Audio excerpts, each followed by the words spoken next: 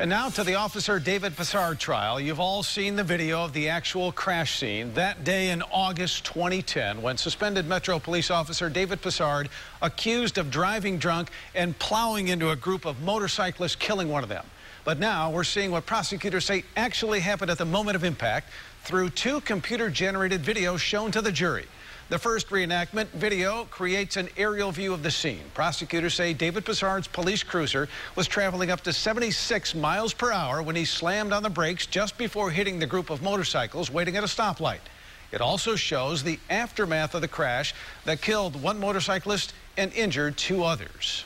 Now, the second video shows what prosecutors believe was the likely view from inside Bisard's patrol car. The jury saw the video yesterday afternoon as prosecutors rested their case. Now, the defense is presenting its case to the jury. Among its first witnesses, officers on the scene just minutes after the crash. That testimony came after those attorneys asked to end the entire case. RTV6 reporter Jack Rinehart is in Fort Wayne with the very latest. Now that the state has concluded its case, the defense made a motion saying that the prosecutors failed to make the criminal case against Officer David Bisard. The defense moved for a dismissal of all the charges. The judge said no.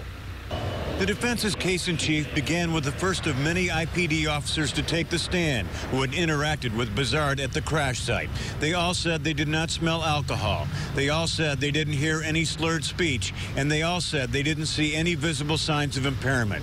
One of those witnesses was IMPD chaplain Philip Bacon. Another officer said when he arrived on scene, he saw Bisard kneeling over victim Kurt Weekly. He said Bisard was talking to him, saying, Stay with me, man. He was trying to provide comfort, the officer testified. He described Bisard as upset and at one point heard Bisard complain to other officers, Leave me alone. I'm tired of everyone asking me if I'm okay. The defense is expected to call as many as 30 witnesses, some of them experts in toxicology and pharmacology. The judge made it clear he wants both sides to have this case ready for the jury no later than noon Monday. In Allen County, Jack Rinehart, RTV6.